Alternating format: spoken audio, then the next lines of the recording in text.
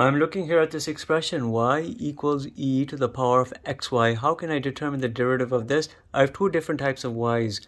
You cannot clearly isolate that y, therefore you're thinking implicit differentiation, but we also have a composite function e to the power of xy.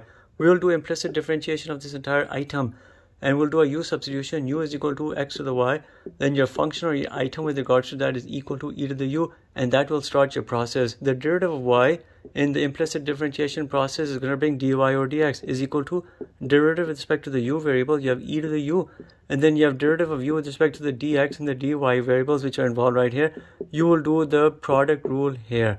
Anyhow let's proceed. dy or dx the derivative of e to the u is e to the u the product rule over here y times the derivative of x which is just a 1 you'll have a y plus x times the derivative of y you'll have here dy over dx. You're solving here for dy over dx. Open this up. You have a dy over dx is equal to y e to the u plus you see this x dy over dx will multiply with that. I'll just write items in different order x e to the u dy over dx. This term right here i'm going to push it onto the other side of the equal sign I have a dy over dx minus this term x e to the u dy over dx is equal to this item right here y e to the u.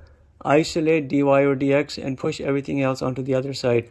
I have here dy over dx 1 minus x e to the u is equal to y e to the u. Now we push this term onto the other side. It will divide dy over dx is equal to y e to the u and bring in your u substitution which is x to the xy e to the power of xy you know e to the u u is equal to xy you bring it in divided by 1 minus x e to the u but u is xy this right here is our end result of implicit differentiation. It will be correct.